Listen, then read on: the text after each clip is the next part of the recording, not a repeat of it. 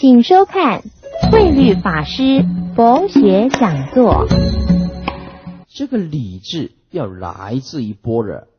诸位，两个人吵架，甲跟乙说：“哎，你要理智一点。”乙跟甲讲：“你要理智。”。”我告诉你，对骂永远没完没了。你告诉对方说：“你为什么这么着相？”他会反过来问你说：“你不着相，你为什么会骂我？你不着相，你为什么会说我？”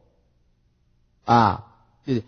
你骂对方说：“你执着。”他说：“你比我更执着。”那那你要搞到什么时候？我告诉你，你你要你两个人争吵，要要弄到什么时候才叫做没有执着、没没有着相啊？两个人都可以互骂对方啊！你讲你讲我执着，我也可以讲你执着；你讲我着相，我也可以讲你你着相啊！这样子永远搞不完，是不是？所以有功夫的人，不管有理无理，通通要忍下来。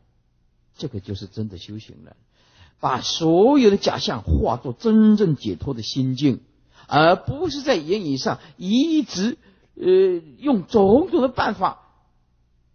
来降服对方，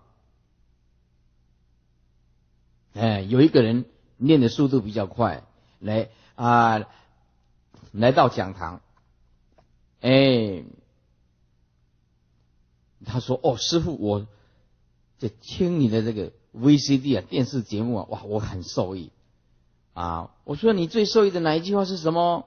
哎，他说：“我最受益的就是那一句，哎，改变自己不如改变别人。”我说你好像念的太快了一点，你你跟他谈料唔丢哎哦哦念念错了念错了。